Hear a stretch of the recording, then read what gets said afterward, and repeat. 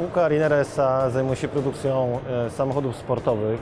E, Naszym pierwszym produktem jest e, za mną samochód profesjonalny, wyścigowy klasy GT. Spółka na rynku New Connect notowana jest od e, 2015 roku. Historia spółki zaczyna się w 2008 roku, kiedy kilka osób, które tworzyło tą spółkę, chciało zbudować pierwszy polski super samochód. Historia w 2011 roku, pierwszy prototyp, 2014 drugi prototyp, e, zmiana strategii e, i dzisiaj e, prezentujemy w Polsce gotowy produkt, pierwszy polski profesjonalny samochód wyścigowy klasy GT. Samochód powstawał przez ostatnie 8 lat. Jest to dla niszowych producentów normalny czas developmentu tego typu samochodów. Mogę tutaj podać takie firmy jak Koenigsegg e, czy Pagani. Są to firmy, które przez e, kilkanaście lat e, dopracowały swój pierwszy produkt. My w 8 lat mamy pierwszą polską rasową wyścigówkę, którą będziemy zdobywali rynki na całym świecie. Samochód został zaoferowany na mm, rynku dosłownie tydzień temu.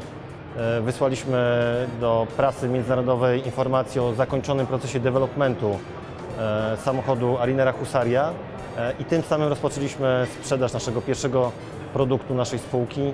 E, Jest to samochód e, wyposażony w silnik e, V8, tylny napęd, centralny silnik, E, duża moc. E, Zmierzamy do klasy GT3. Klasa GT3 jest to klasa e, związana z super samochodami takimi jak e, Ferrari, Lamborghini, McLaren, Aston Martin.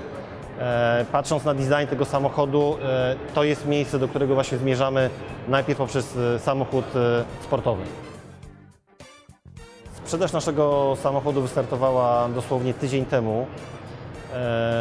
Jesteśmy już na rynku z naszą ofertą w cenie 229 tysięcy dolarów. Zmierzamy do pewnego segmentu, który żeśmy sobie wybrali na rynku samochodów klasy GT3. Jest to przedział e, samochodów e, używanych premium e, największych producentów takich jak Ferrari, McLaren i Lamborghini. To jest taka nisza, którą żeśmy zauważyli patrząc na rozwój firmy brytyjskiej Radical. Stąd też nasza cena jest bardzo blisko ceny Radicala GT3, e, chociaż w naszym samochodzie jest dużo bardziej zaawansowane rozwiązań e, technologicznych, stąd upatrujemy e, dobrego uplasowania naszego produktu na rynku motorsportowym. Globalny marketing e, naszego pierwszego produktu rozpoczęliśmy w styczniu tego roku. E, Było to całe przygotowanie na wejście marki Arinera e, na światowy rynek. Rozpoczęliśmy w Birmingham od prezentacji e, tego samochodu, który za mną widać. E, W czerwcu tego samego roku dostaliśmy zaproszenie na najważniejszą imprezę motoryzacyjną Goodwood Festival of Speed. E, No i tam też spotkaliśmy się z wieloma komentarzami przychylnymi, że ten design, te rozwiązania technologiczne, e, ten zespół, bo również za- zatrudniamy Brytyjczyków i korzystamy z brytyjskiej e, wiedzy kierowców, inżynierów, że ten produkt ma duże szanse, żeby konkurować z tymi najlepszymi markami, które są dzisiaj na rynku. Spółka Riner S.A. jest zaawansowanym startupem. Tak?